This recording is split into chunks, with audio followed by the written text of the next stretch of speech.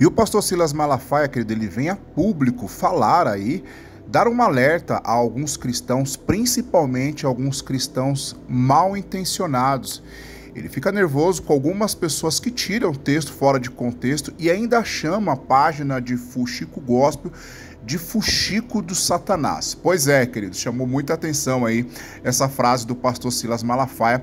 Vamos ver aí como que ele falou essa situação. Vamos acompanhar o pastor Silas Malafaia. Segura aí. Escute que eu vou dizer isso aqui para vocês. Eu estou observando, nesses tempos de malignidade, pegam uma frase de um pastor, duas frases de um pastor, tiram do contexto para ridicularizar diante da opinião pública evangélica. Eu estou vendo isso.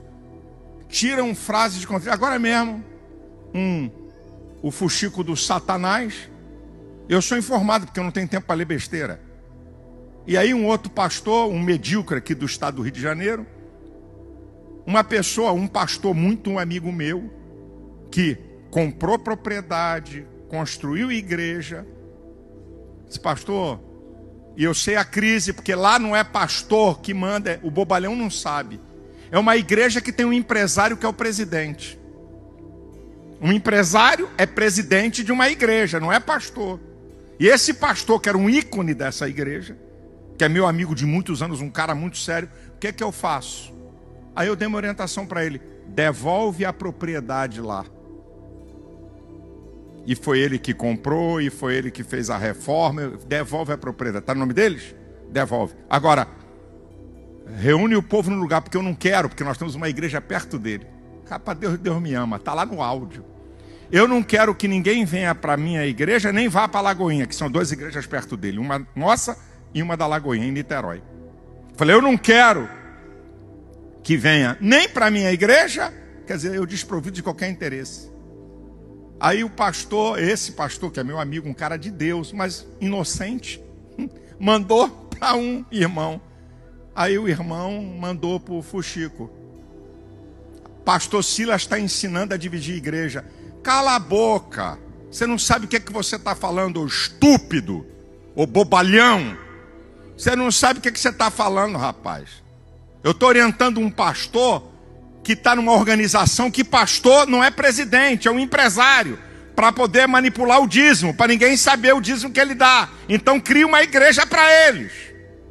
E eu estava orientando um pastor, e assim mesmo, dentro de uma ética, entrega o patrimônio. Não briga para patrimônio, não. Está no nome deles. Sai daí, leva o povo para outro lugar. Eu não quero o teu povo na minha igreja. Ah, eu, deixa o circo pegar fogo que vai sobrar para nossa igreja de Niterói. Uh, aleluia. Estou orientando, não quero nem, está lá no áudio. Aí vem um outro bobo, um medíocre, falido como pastor aqui do estado de Janeiro, querer falar, querer curtir em cima de mim.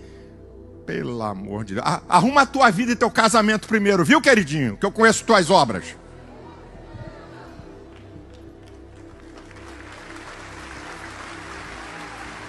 É. Nós estamos vendo esse tempo, irmão. Eu, você escuta a pessoa falar, eles botam um cabeçalho e você é induzido pelo cabeçalho, não pelo que a pessoa fala. Um outro fato que eu não vou dar nome do outro pastor, comentando sobre uma questão grave e séria, ele não está apoiando, ele está comentando. Ah, pastor está tá, tá, tá encobertando pedofilia e tal. O negócio está pesado. Cuidado com o que você escuta. Ouça você e não vai pelo cabeçalho de notícia nenhuma. Porque eles induzem você a. É igual a Globo faz. A gente fala de Globo lixo, mas tem vários lixos no nosso meio. O que a Globo lixo faz é isso: é induzir a notícia. E você está vendo uma coisa, mas é induzido pelo que eles querem. É um negócio é incrível. A manipulação e a falta de raciocínio das pessoas hoje. As pessoas não querem parar para pensar. Elas são induzidas, igual a cordeirinho bobo, medíocre. Não, o que, é que eu estou ouvindo aqui? O que, é que ele está falando? Peraí, isso aqui não é o áudio inteiro, aqui é um pedaço. Está fora de um contexto? Não sei. Eu vou encerrar para despedir vocês com a bênção. Aprenda com seu pastor. Tudo que você ouvir, tudo, o que, é que eu falei? Duvidar, criticar e determinar. Duvidar o que, que é? É não aceitar de pronto, seja de quem quer que seja. Duvidar. Criticar é analisar o fato. e a notícia. Determinar. Rejeito tudo, aceito tudo, aceito parte e rejeito parte. Então, tudo que você ouvir, duvidar, criticar e determinar. É isso que eu faço. Qualquer notícia que vem, primeira coisa, duvidar da notícia. Aí vou ler toda, porque muitas vezes lá no meio da notícia está a verdade. E a manipulação está na manchete.